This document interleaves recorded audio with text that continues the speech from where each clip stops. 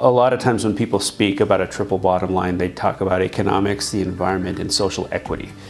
And we try to incorporate that into what we do. We realize that the projects we do for the public are for the public, not to price them out of their neighborhoods, not to raise property values that they can't live there anymore, but to improve their quality of life.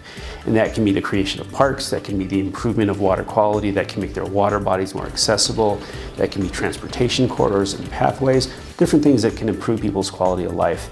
Uh, property values are going up in many locations, so we want to be sensitive to the fact that people who've grown up in areas to some degree have they have a right to stay in those areas and we want to make their quality of life better. That's a real sort of a guiding principle to how we do a lot of our work. And so it's not just to enhance, to increase property values.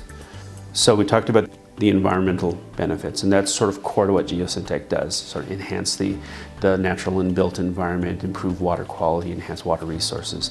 The economics is part of how we want to try to work these public-private partnerships, particularly the community-based P3s, to create local jobs, to enhance the local economies. And then the social equity portion is really important to improve the quality of life for the folks that live adjacent to the, to the properties and the projects that we're developing.